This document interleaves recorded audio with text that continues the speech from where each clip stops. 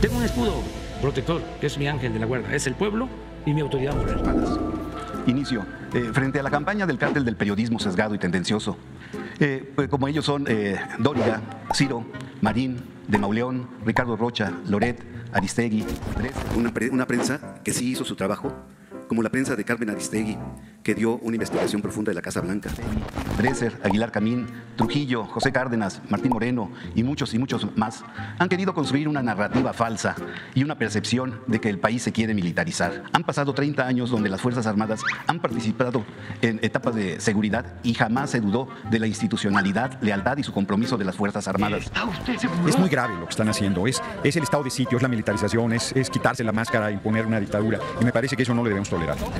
Le pido, presidente, como comandante supremo, ser conciso y contundente y me diga si el factor determinante para la reforma de la Guardia Nacional es por la existencia de una delincuencia organizada, fortalecida que la hace una de las más violentas del mundo, con un poder, reitero, cuasi militar que pone en riesgo al Estado y a las instituciones públicas. ¿Cuál sería su respuesta, presidente? Pues yo pienso que no es eso, ¿no? Este, no es que las organizaciones de la delincuencia, lo que llaman la delincuencia organizada, esté este, presionando para que el ejército y la marina no participen ¿De qué habla? en labores de seguridad pública. Más bien, yo lo veo como un asunto politiquero.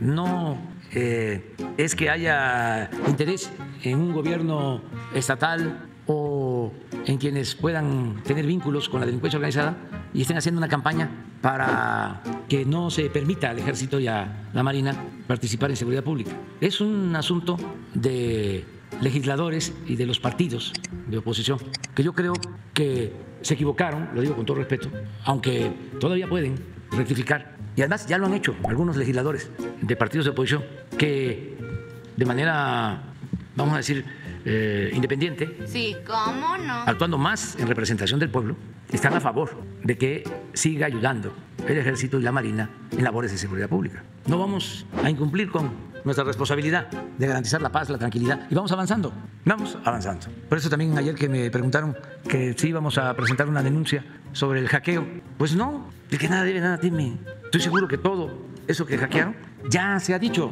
hasta lo de mi enfermedad, ya se había dicho y hasta faltó y pueden sacar lo que quieran, que el cash, El rey del cash. cualquier cosa. My people are so smart. And you know what else they say about my people? The polls. They say, I have the most loyal people. Did you ever see that?